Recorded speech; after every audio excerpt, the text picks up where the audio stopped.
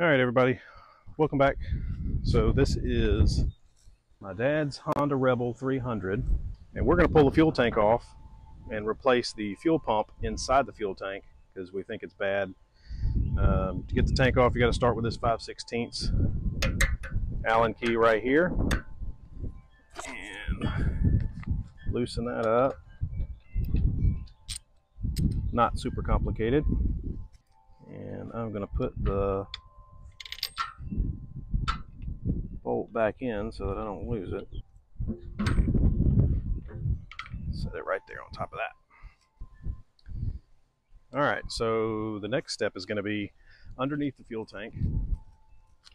There's going to be some hoses right here that we have to disconnect underneath here. Let's see if I can get a little closer view for you.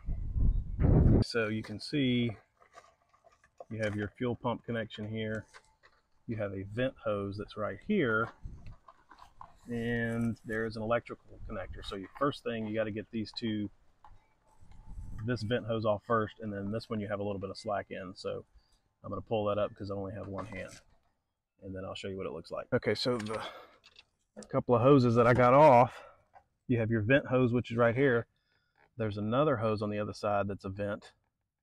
And you have your electrical connector and your actual fuel pump, you know, your supply line that goes down to the intake. So the only thing I got left to pull off is that clip and this one, which I've heard can be a little bit of a booger. So um, I'm gonna have to put the phone back down and try to get that off, but I think it's got these little clips that come out and then it just slides off. I'll be right back. Okay, we got the tank off. The double clip on the fuel pump side is a little tricky to get to. Um, you have a little plastic piece that pops out and then you have to come in from the other side and open open up some other little clips and then it just pops right off. So now we're going to pull this old this whole fuel pump assembly out and this is a number 8 number 8 it's not a number 8 okay 10 millimeter. We got our 10 millimeter so now all we got to do is break these loose and pull the fuel pump out.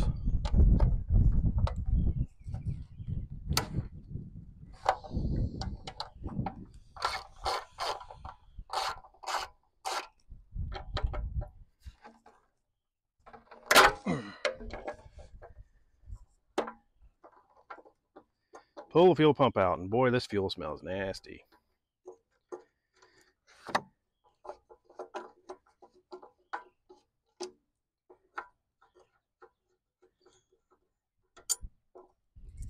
Okay. So now the whole assembly comes right out.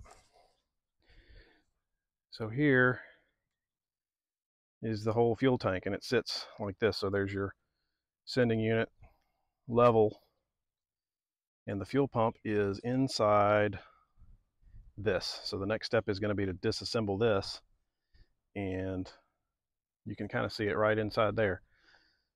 That's what we're after is the fuel pump that's inside there. So let me get some things organized here and I'll be right back.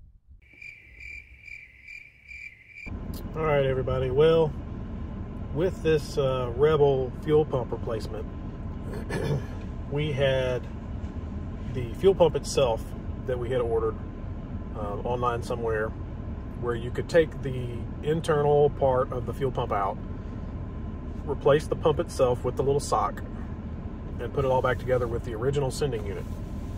Well, that pump, once we got everything out, is not the right pump or was not the right pump. So this video had been delayed by several weeks because we had to basically just buy a whole new sending unit slash fuel pump assembly. So the whole disassembly part up to the point where you pull the fuel pump out of the bottom of the fuel tank, the majority of the repair. If you were to do this from start to finish, you could probably accomplish this whole repair in 30 to 40 minutes, honestly. Uh, that is with pulling the fuel tank off, flipping it over, the pump assembly out of the tank, just turn around, change the gasket out, black gasket on the pump side when it comes out. You have to pull that off and put it on the new pump. and put it all back in, tighten everything back down, and plug everything back in. In this instance, the fuel tank itself had a lot of rust in it. So we had to drain the tank. We got some stuff from, it's a Evapo-Rust. We are able to put in the tank. We had to let it sit, sloshing around on all angles of the tank tank so that we could get rid of all the rust scale that was inside the tank. There was a little bit left still. Uh, the stuff did work pretty good, pretty well. There may be some issue down the road. We don't know yet if there's any sediment that gets stuck up in the pump itself, but there is a sock attached to the pump so that it, when it pulls the fuel, it's actually going through this little filter.